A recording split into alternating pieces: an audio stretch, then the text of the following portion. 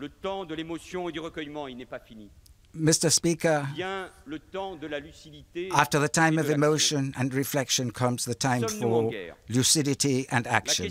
Are we at war? a en réalité peu d'importance car les terroristes djihadistes The question is really rhetorical because the terrorists, these jihadists, by une nouvelle fois striking us for three consecutive days, have given us the most cruel answer. I think that things must always be stated clearly. Yes, France is at war against terrorism, jihadism, and radical Islamism.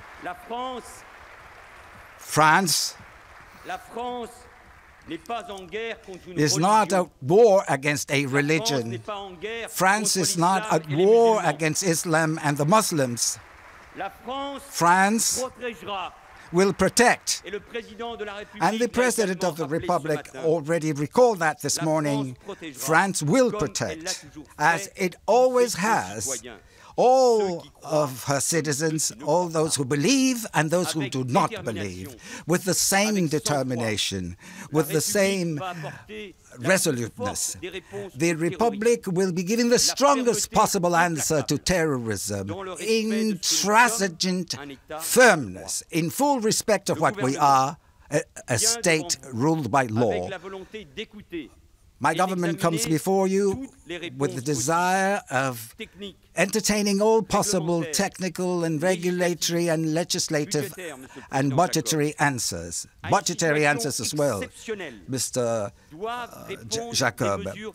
To exceptional circumstances, we must respond with exceptional measures. But let me say this just as strongly never an exceptional measure measure that would deviate from the principles of law and deviate from our values. Never. The best response to ce que nous terrorism that really wants to shatter what we are, that is to say, a great democracy, is the law, is democracy, is liberty, and it is the French people.